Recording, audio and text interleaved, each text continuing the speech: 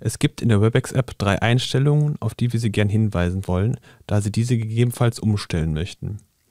Diese betreffen die Sichtbarkeit Ihres Status und Ihrer Verfügbarkeit, die automatische Aktivierung Ihrer Kamera bei Videoanrufen und die Nutzung Ihres Mikrofons und Ihres WLANs zur Ortung von Webex-Geräten in der Nähe. Um diese Einstellung vorzunehmen, klicken Sie zunächst auf Ihr Profilbild und dann auf Einstellungen.